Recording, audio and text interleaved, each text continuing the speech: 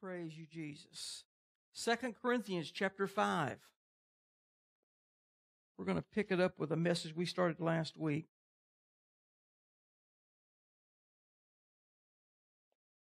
Second Corinthians chapter 5. We probably don't need to turn there. We can probably all quote this verse. Verse 17 says, Therefore, if any man be in Christ, he is a new creature or a new creation. Old things are passed away, behold, all things are become new.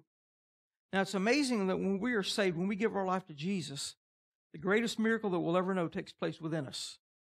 God reaches in and takes out the heart of stone, the heart of sin, the sin nature, takes it out of us, and He puts back into in us a heart of righteousness. A heart made in the image of God, a heart made in the image of righteousness, a heart of love. And uh, we become a new creation. You're not who you used to be. Your very inner being, your spirit man has been regened. You've reached, you've received a genetic transplant of the very nature of God.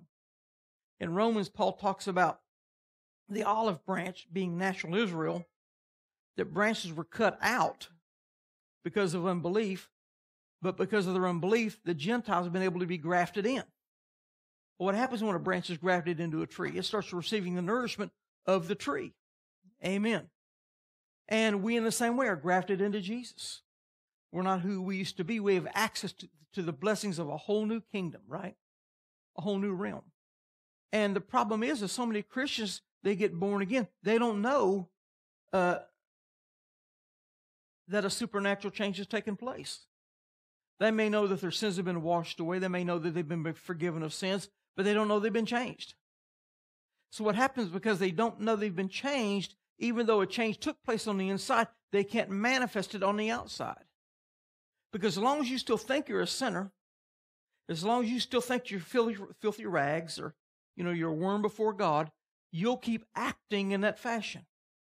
You'll keep expecting yourself to fall short, to fail, to sin, to mess up.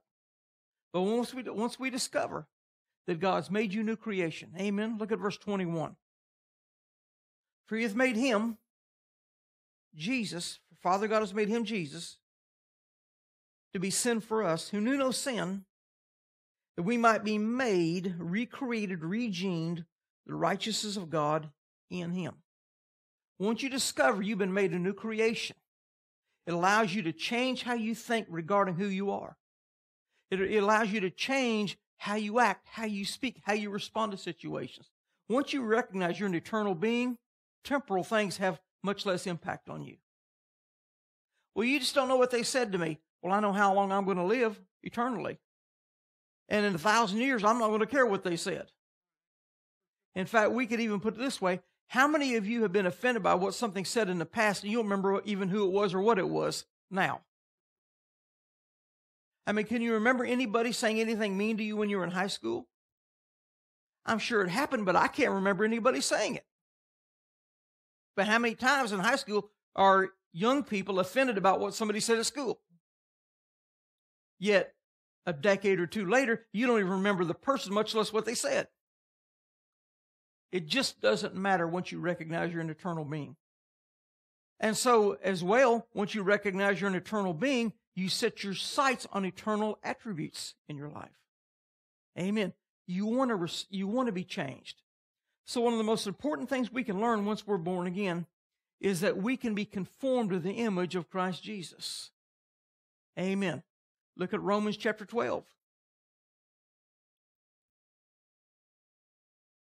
Romans chapter 12. Again, very common verses to us.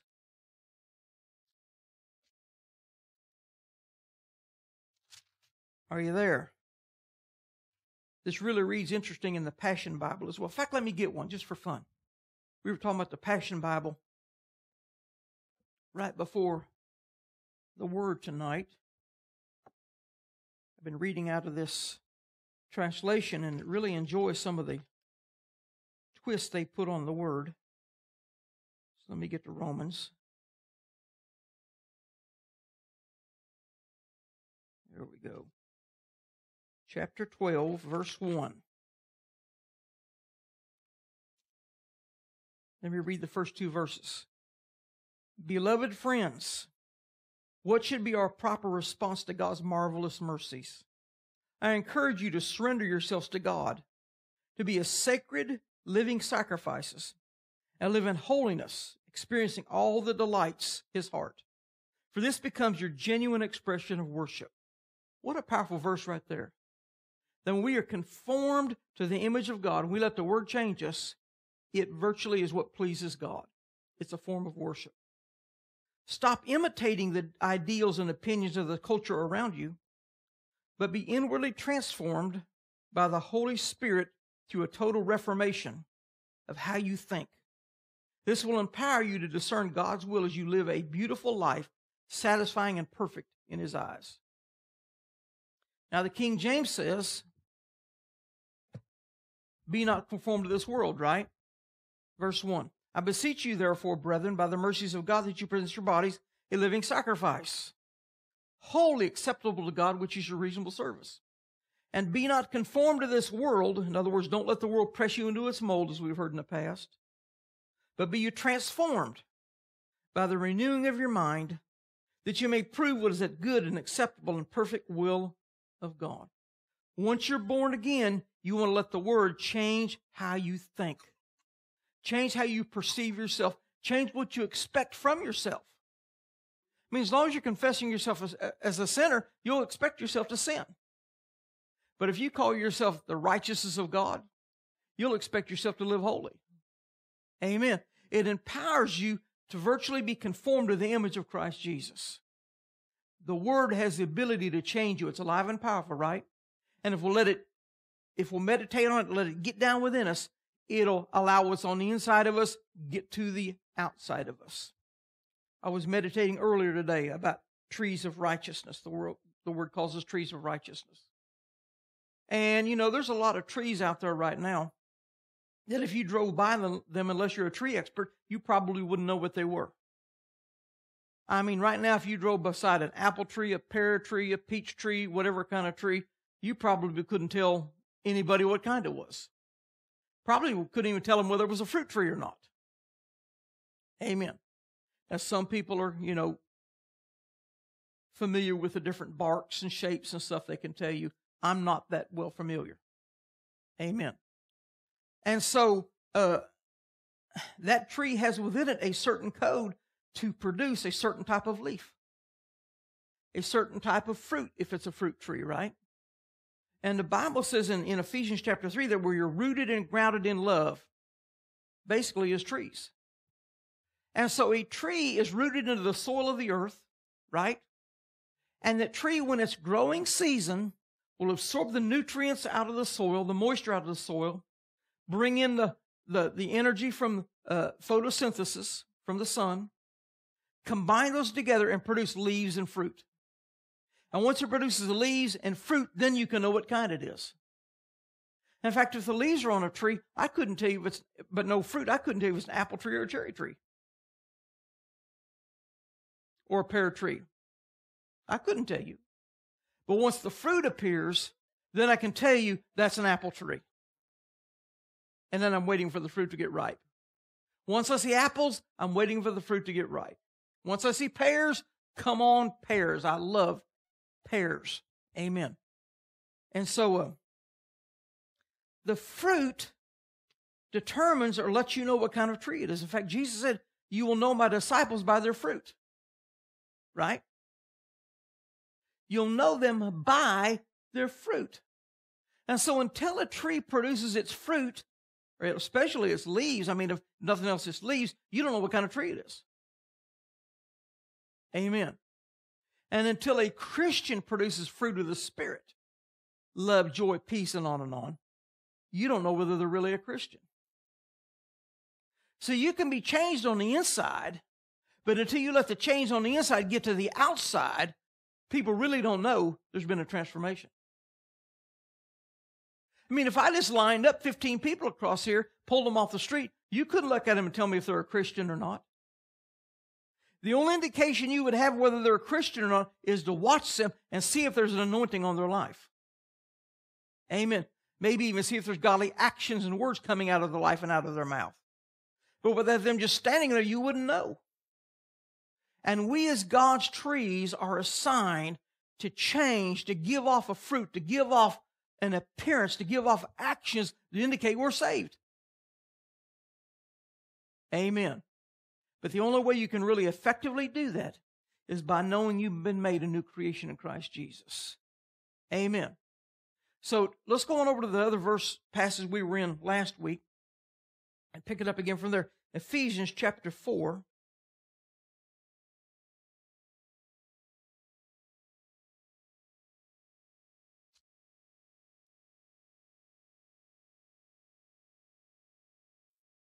BJ, I have an announcement I made earlier. Hang around so you can hear it tonight, okay? Don't go rushing out of here. Somebody will have to tackle you.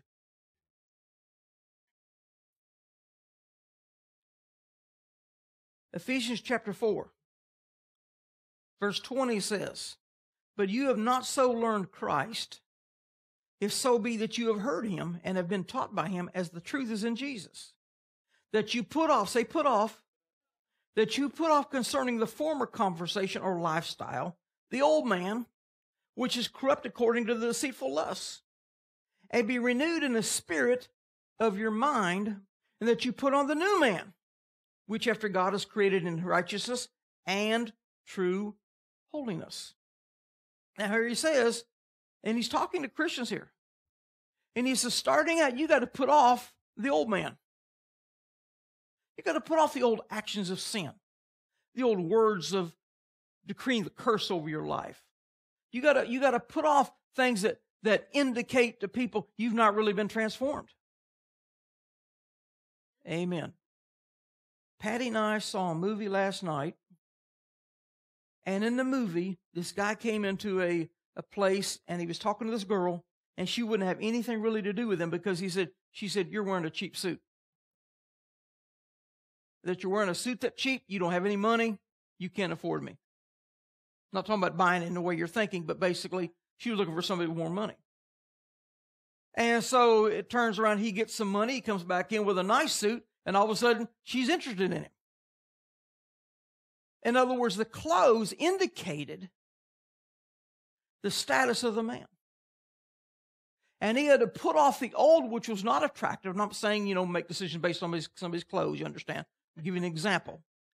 He had to put off the old clothes to put on the new ones to attract the person to him.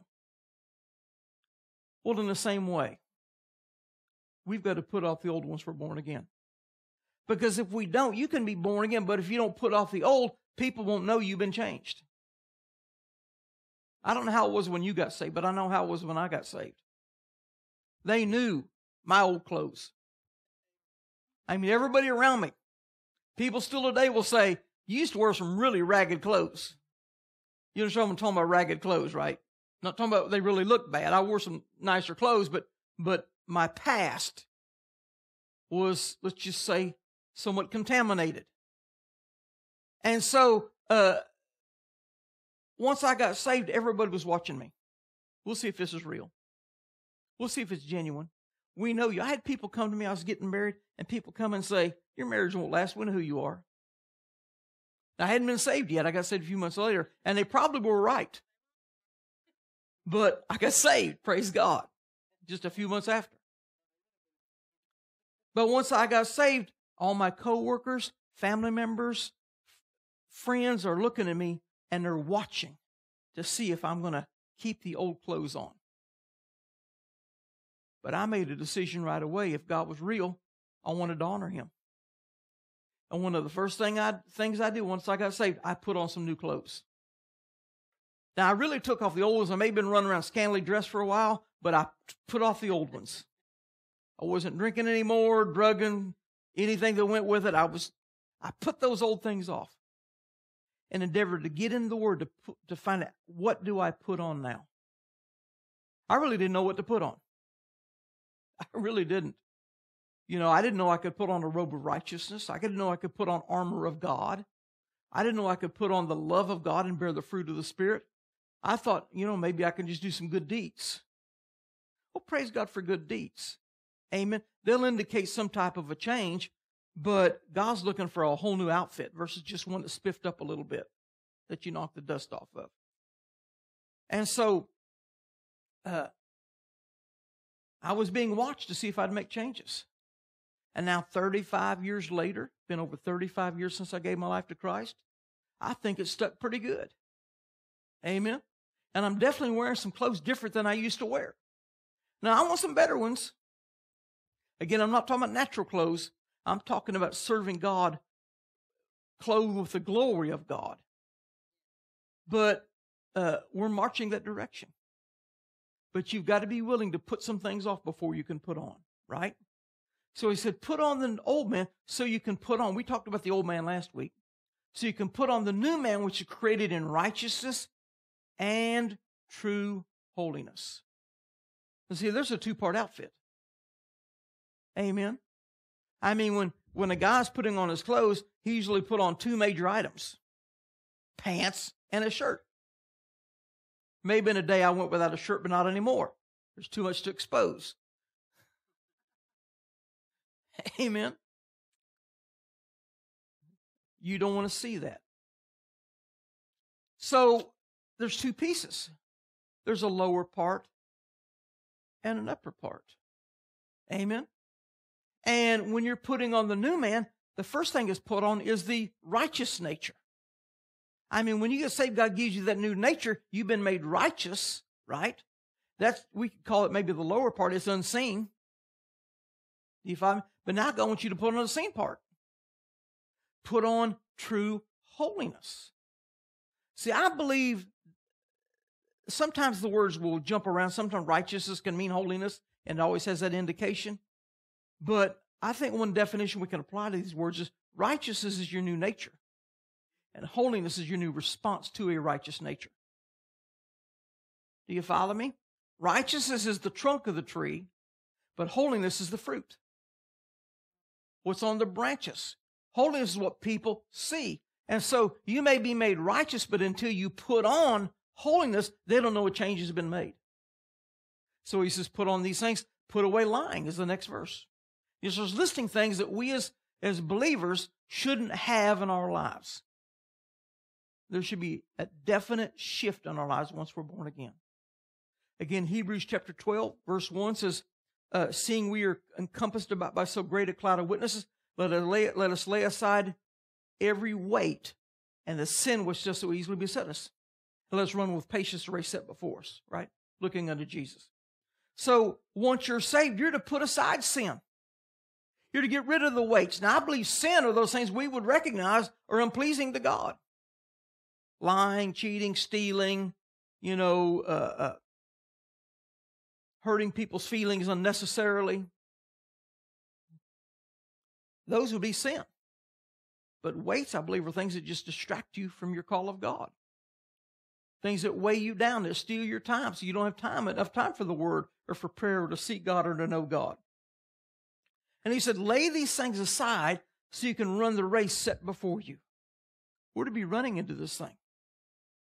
Have you seen these uh, shows, uh, these acts they've had lately, the quick change artists? You know what I'm talking about, the quick change artists? They're on America's Got Talent quite a bit.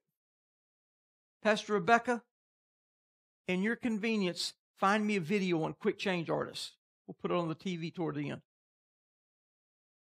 What they do is they take these people, they call them quick change artists, and there'll be a girl or a guy, and she'll be wearing one outfit, and they'll wave a banner past her, and next she's got a different outfit on. Then they'll wave it again, she got a different outfit on. She may go through 15 outfits. For with just boom, boom, boom, like one is they'll throw glitter up in the air as it showers past her. When it comes past her, she's in a different outfit. What happens? She's running into new clothes. If we can put it in that fashion. She is shifting clothes quickly. And we're running the race. We should be running to change what we're manifesting outwardly to the, to the world. We put off as quick as we can and we put on as quick as we can. Amen. And be saying, God, help me change what I'm displaying to the world. Now, here's the problem a lot of people are trying to change what they're presenting to the world. And because they don't understand the supernatural power of God to assist them in the change, they're trying to do it by their own ability.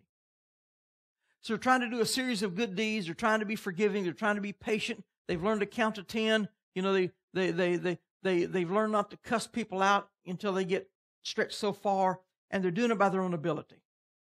And eventually, your ability, if not refreshed by the power of God, the presence of God, your ability will finally run out. Your tank will run dry. And then people are going to get unloaded on in a fashion they didn't know possible from a Christian. Amen. They're going to find out how quick you put off and then put on and how quick you put back off and on again. Amen. I mean, you they found out you didn't really get rid of those old clothes. You just had them in the back, you know, in your backpack, and you you put those things on real quick because you're trying to do it of yourself. Therefore, the only genuine way to put on the articles of God, the outfits of God, is by faith in God's ability. How can I say this? To bear fruit in your life supernaturally. And you're saying, God, I want supernatural love. I want supernatural peace. Father, just don't have me forgive this person because I'm just determined to. Spirit of God, go down inside of me and remove the offense, remove the pain, deliver me from this. Help me genuinely forgive this person. Help me really put it to the side. Let it never bother me again. Remind me not to meditate on the offense, whatever you've got to do. And you ask God through the power of the Holy Spirit to enable you to live a supernatural, fruitful life. Supernatural joy, supernatural peace. You place a demand on the anointing. Amen. You learn to worship God when you feel like you're stretched thin to refuel your tank. You learn to you learn to, to speak the word when it looks like, you know, you're falling short or things are rising up against you. You speak the word. And let the word carry the load. I uh, was blessed with two daughters in life. Love them greatly but I didn't have any sons. Amen. I won't blame my wife tonight, but she always wants to quote me genetics. I didn't have any sons, and we quit before we did. And uh, therefore, all of my days, if there's something to be carried, I pretty much have to carry it. I have to transport it. And uh, many times I've had to carry some pretty heavy loads. Amen. But I found out if there's something really heavy to carry, like a refrigerator or, you know, a washing machine or something like that, I have these dollies. In fact, I don't know how many dollies I have at home. I have several different kinds flat ones, push cart ones, a couple of them with handles, you know, several dollies. And uh, I'd say five or six of them depending on what I'm moving, I'll grab that dolly. Not to mention, one of the greatest inventions ever made were furniture sliders. Anybody know what I'm talking about? The little round octagonal things you put under the furniture and you push it around on the carpet. Thank you, Jesus. Glory to God. Patty has this china cabinet weighs three million pounds. I have had to move it a few times. It's all I can do to lift one end to get a slider under. I lift it and kick the slider under and then I can just push it around. Thank you, Lord God. But what I found is when I use these furniture sliders, or especially the dollies, I may put, you know, I may put a 300 pound load on a dolly. The ice cream machine we had at one time, that ice cream machine back right over there, I bet weighs 700 pounds or more. I don't know what it weighs. It's heavy. It, you can't hardly move it, much less lift it. But yet I brought it from Illinois, loaded it myself, brought it here, unloaded it myself, and put it in. We had some help unloading it, didn't we? I think we did.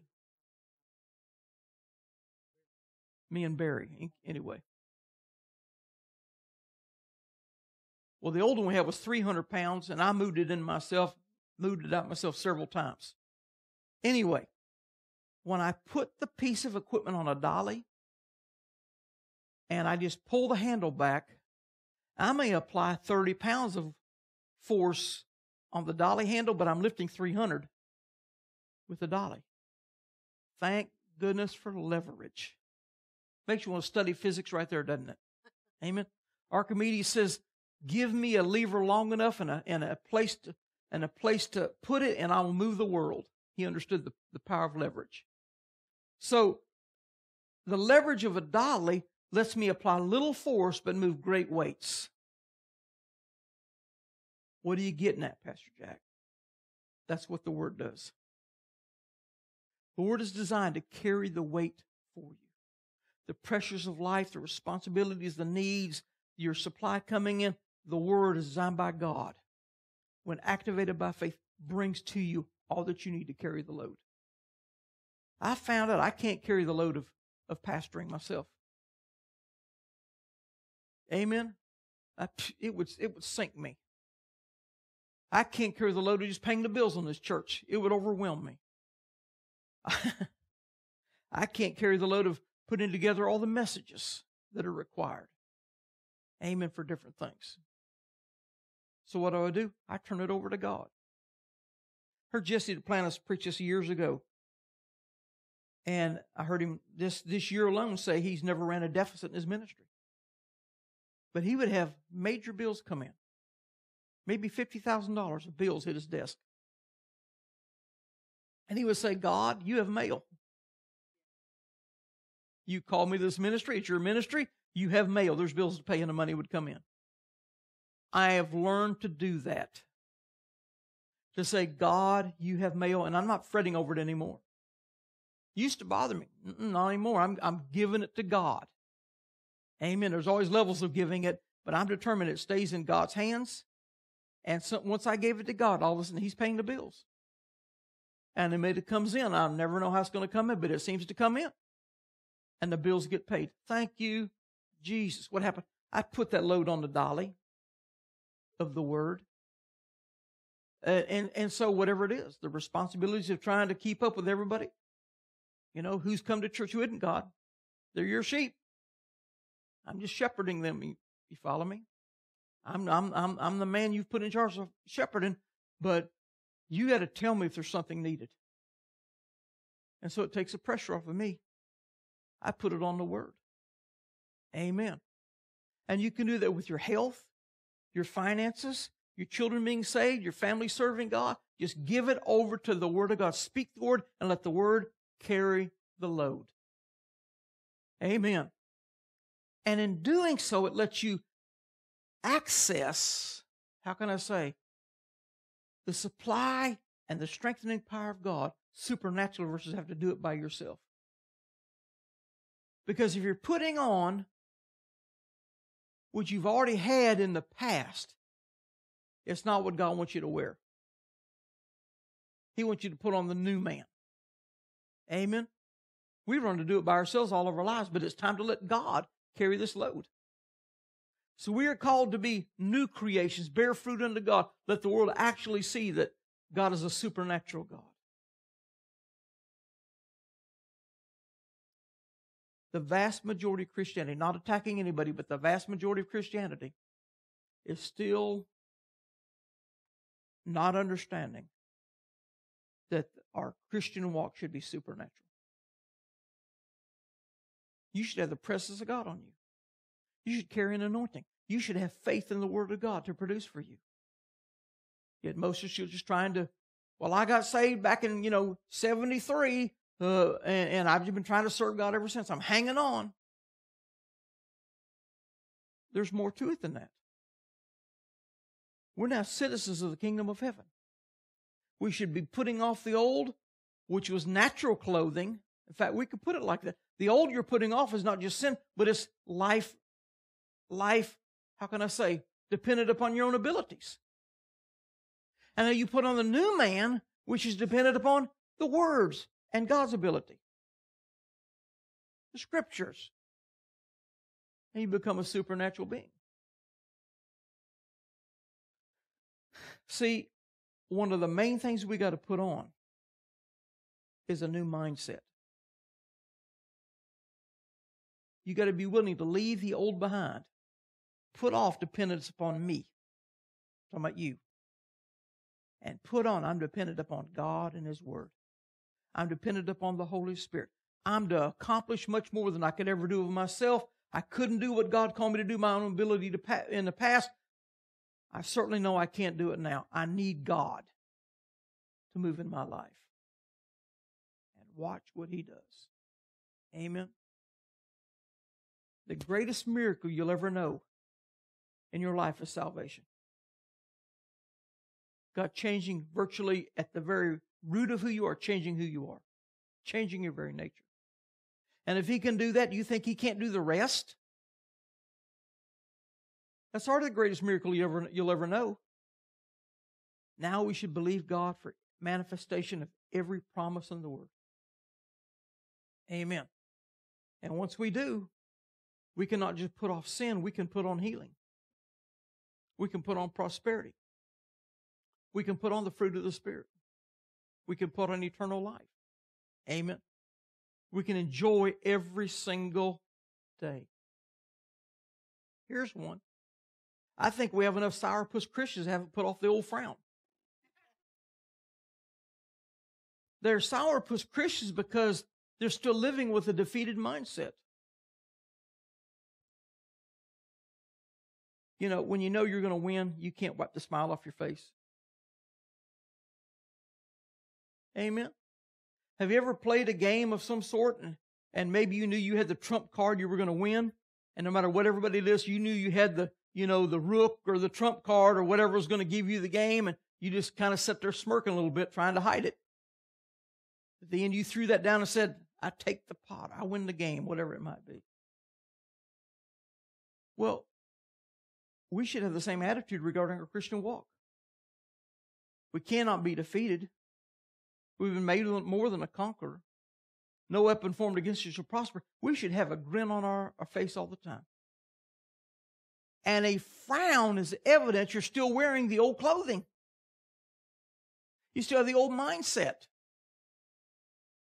Amen. They should be calling us giggles. My new name is Cuddles. Yours can be Giggles. You just can't quit chuckling because you know what God's about to do.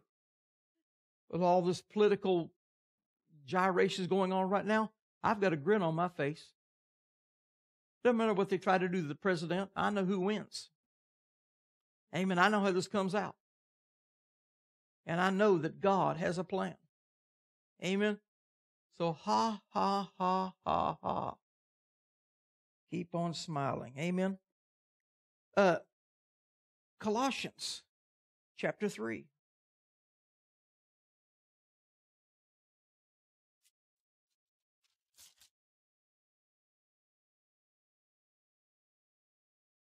We were here last week.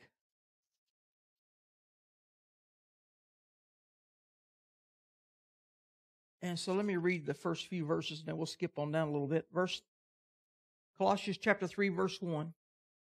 If you then be risen with Christ, seek those things which are above. What's he talking about? Putting on that shirt. Putting on the upper. Seek the things which are above. Seek what God would have you wear right now. Where Christ sitteth on the right hand of God. Now, how many know above there's no sickness? No lack, no oppression, no suicidal thoughts, no division, no rage. Seek those things. Set your affection on things above and not on things of the earth. What is your heart's desire in life right now? I believe if you're really in the flow, I'm talking to anybody out there listening. I believe right now, if your heart's really in the flow what the Holy Spirit's doing, unless you're in a position of extreme lack, extreme sickness, you know, where there's a desperation, your number one heart's desire is to manifest the glory of God. You want the glory of God to come on your life. You want the glory of God to come into the world. You want this end time revival to manifest. I believe that's the heart desire of every revivalist right now. Amen. Unless maybe you're being faced with something very serious that's got your full attention because you got to deal with it, that issue. Otherwise, you want the glory. Amen. Setting your desire, your heart on things above, not on things on the earth. For you are dead and your life is hid with Christ in God. And Christ, who is our life, shall appear, then shall you also appear with him in glory. Verse 5 Mortify. What's mortify mean? put to death, kill, shut it down. Mortify therefore your members which are upon the earth fornication, uncleanness, inordinate affection, evil concupiscence, and covetousness, which is idolatry. He says, put these to death. What's that putting off the old man? Put away those things. That's amazing. That should be obvious to us to put those away, right? But Paul felt it necessary to list them because even believers, if they don't make a decision to escape these, can fall back into them or never quit them. Verse number nine. Lie not to one another, seeing you have put off the old man with his deeds, and have put on the new man, which is renewed in knowledge after the image of him that created him. Who created you? We're to be renewed in the image of him, of God. We're to look like Jesus. So when we put on this new man, it says, do you see this? Put on the new man which is renewed through knowledge. See, as you spend time in the Word, it changes how you think. It changes how you both perceive yourself and how you, uh, what you recognize is available to you. Your mind being renewed in knowledge lets you expect supernatural forces to, to flow through your life. You expect to function in the supernatural. You expect to see results out of the kingdom of heaven. To the natural man, this seems ridiculous. What do you mean? You can believe God and speak the word and he'll heal you? Yes, I believe that. Do you believe that? Now, BJ, you're a medical person. How many people in the medical industry that don't know faith would think that was ridiculous?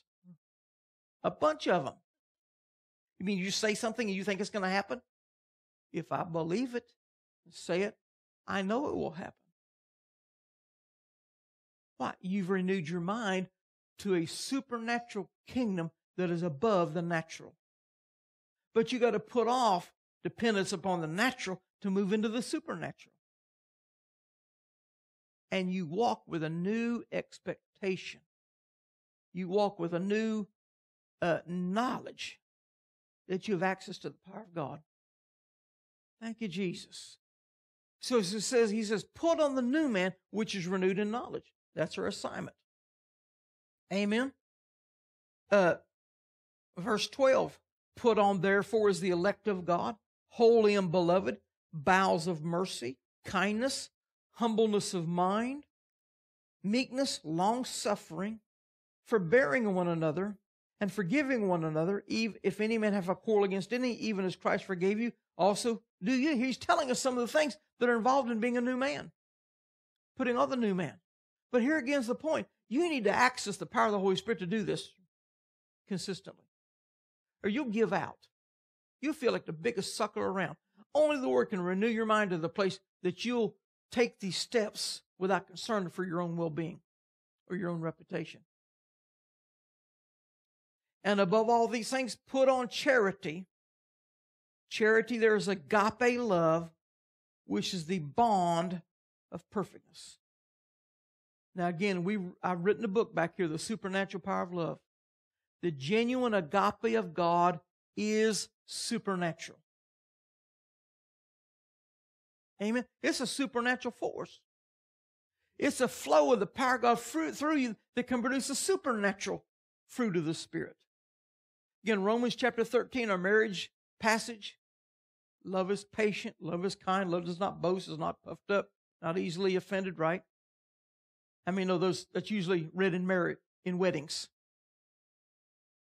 Well, it doesn't say love tries to be patient. Love tries to be kind. It says it is. Which means love has in it, agape has in it a supernatural component that that becomes automatic or easy. So if we're to put on charity, he's talking about putting on the supernatural. Renewing your mind that you can live in this presence of God. Now, again, those two really, I believe, to some level are inseparable. To dwell in the presence of God and to walk in love are almost synonymous. Because you get in the presence of God for long periods of time, it's going to produce love in your life. Amen. And you're not going to have the love of God at any high level unless you do spend time in God's presence. But we're to put on the supernatural forces of the Spirit as if we were getting a new outfit from heaven and making a decision to put it on. Oh, glory to God. Talks about in Revelation that the saints are clothed with robes of righteousness. I, uh, in the Imagine Heaven book, I believe it refers to these. Either that or something else I just read. May have been in God's Generals. That those that have seen the robes in heaven say they don't look like normal bathrobes. Amen. They're majestic robes. They're phenomenal robes. Remember when Jesus was crucified, his garment was was without seam, very expensive garment. Uh, that was just a forerunner of what we'll wear in heaven. Phenomenal garments. Well, in the same way, we put on phenomenal garments here. Supernatural garments. Amen. Versus just a change or a decision to be a nicer person. I tried to be that nicer person. I ran out. Do you follow me? I remember the first years I was saved, I didn't know I had access to supernatural forces. Supernatural love, supernatural anointing. I didn't know that. I didn't know I could live in the presence of God. Nobody told me that. So I was determined just to be nice. Amen. And I found I could only smile so long. I could only be sweet so long, and then eventually the old clothing would jump out of the closet and jump on me. You ever see Iron Man where he puts on that Iron Man suit and he hits the button and just appears on him? Well, I had the same thing, but it was the old man suit.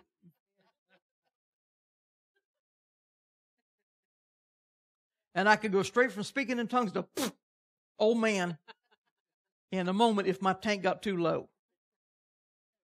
But now we discovered we're not doing this by our own ability. And once I found out I was a new creation, once I found out I had access to supernatural power and I could live in the presence of God, access by worshiping at will, He draw near to me as I drew near to Him. It shifted everything. Not that I had this perfect. Not that the old man clothes doesn't try to, you know, rub off on me. But I don't believe that, that I put them on anymore. Amen. And uh, we're to be supernatural beings for God. So, some of the things we're to put on. Oh. The rest of that chapter in Colossians tells about things you can put on. Amen. But some things we're to put on is a lifestyle of praying in the Spirit. Put that on. Put on a lifestyle of worship unto God, especially if you don't feel like worshiping God when you don't feel like worshiping God is the most important time to worship God. Amen.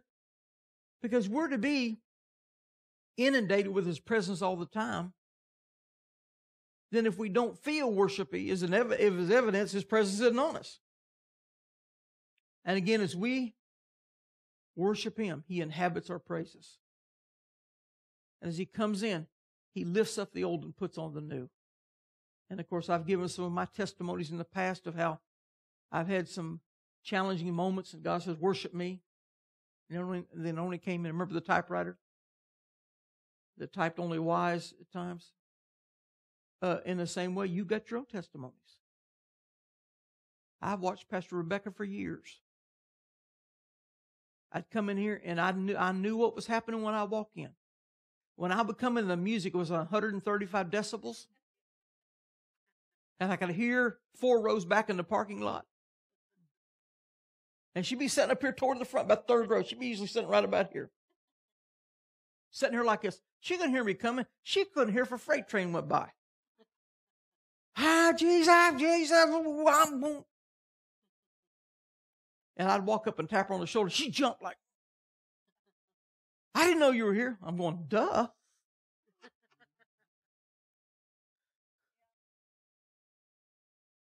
And she said, I'm having me some Mary time. You understand Mary time? You know, Martha was busy, busy serving, but Mary chose the greater part to sit at Jesus' feet. Well, Pastor Rebecca's a server. She has the gift of Martha on her life. But she would reach a point she knew that her tank was getting low. She needed to exchange Martha mentality for some Mary time.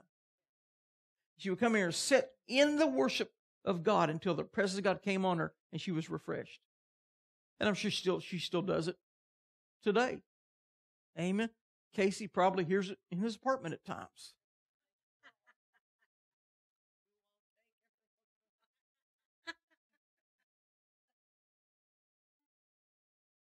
What's she doing? Putting on the new man. Worship allows you to put on the new man. When you pray in the Spirit, Jude verse 20 says that you uh, build up yourself in your most holy faith, praying in the Holy Ghost. You're building yourself up. Well, you're putting on the new man. Church involvement brings you into the corporate anointing of the body of Christ. I read a, I read a post on Facebook. I think it was yesterday. I didn't respond to because I didn't want to go into all the explanations of the exceptions. But somebody put on, on Facebook the post that just because you see somebody not attending church, that they're not spiritual. And if you see somebody in church, doesn't mean they are spiritual. Well, that's true. That's a true statement. But at the same time, if there's a church you can go to and you're not going, that's called disobedience. Amen. Rebellion and stubbornness because the Bible says not to forsake the assembling of yourselves together. And you can explain that any which way you want to, but we're commanded to go to church, to be part of, the, of a thriving body, because in the body of Christ is where the corporate anointing is.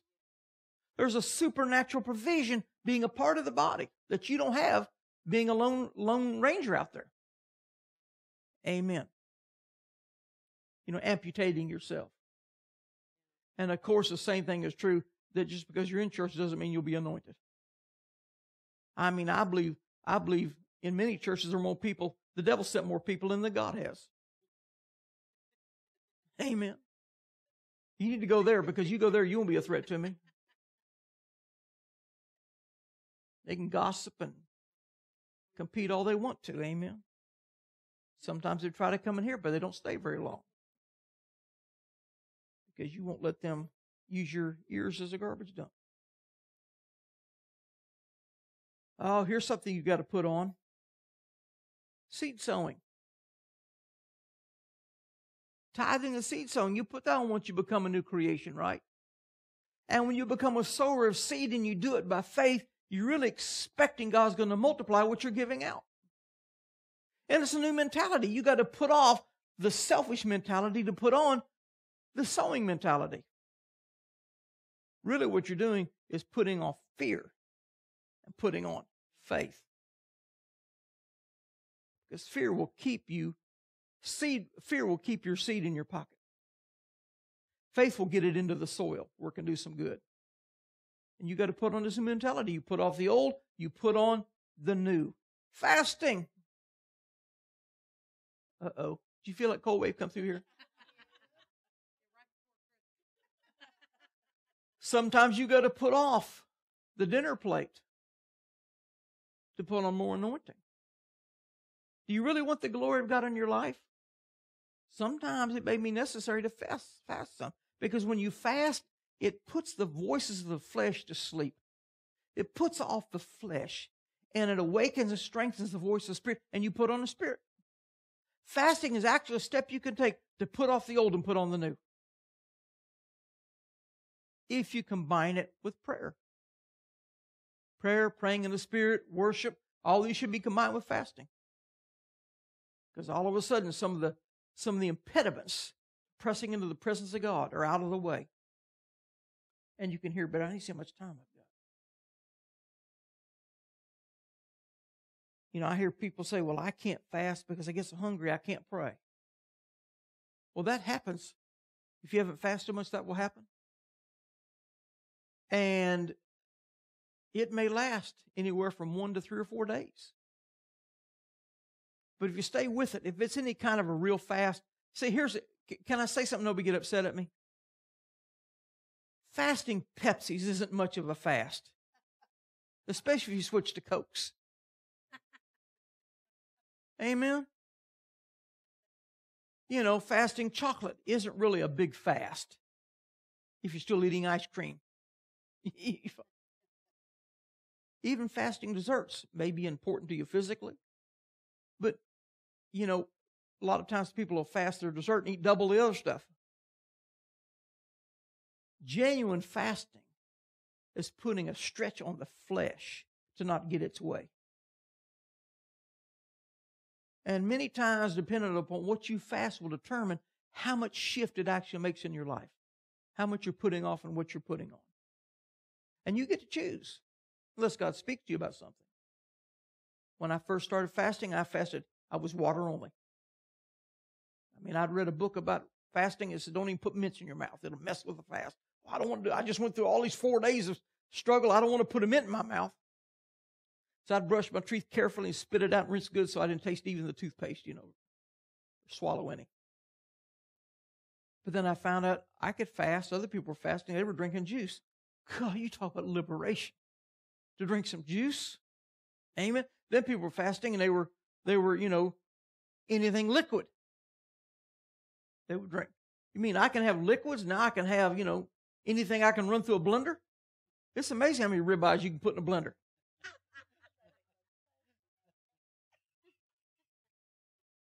the point I'm making is, is your fast is just about changing your what you're eating, and it's not really about putting the flesh under any pressure. It may really not be much of a fast. And you get to choose how much you're going to put off that old man and put on the new through fasting. Amen. And you know, maybe you want to start with juice, go to water, go back to juice, go to whatever, eat bread. You know, uh, I did a, I did a fast one time for 40 days where I ate nothing but Ezekiel bread. Amen. Ezekiel bread for 40 days. You know what Ezekiel bread is? It's listed in the book of Ezekiel what God told him to eat, and it was all these different grains mixed together to make bread. And you go to the health food stores and buy Ezekiel bread pre-made. Probably have it at Kroger. Ezekiel mm-hmm. bread. I think in I think in the organic section they do. I think if you go to the organic section, you'll find Ezekiel bread in the cooler. Okay, yeah. So we got to 40, I was making my own. I bought all these different grains, bulk grains, put them in the processor, grind them up, make my own flour, made all these breads. And, uh, but I found out we were allowed to put any kind of spread on the bread we want. It's amazing how much jelly you can put on one piece of bread if you set your heart to it.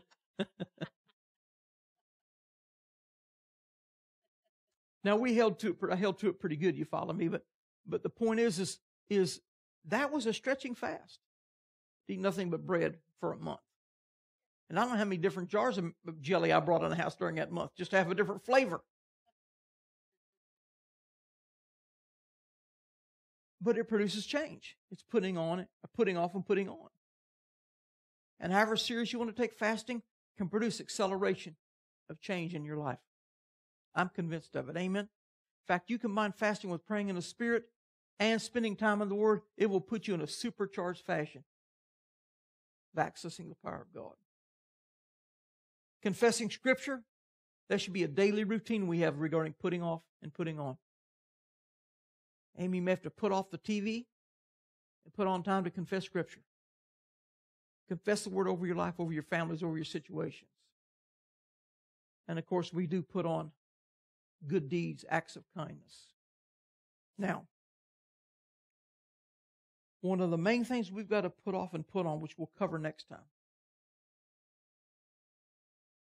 is you got to put off your old ways of thinking.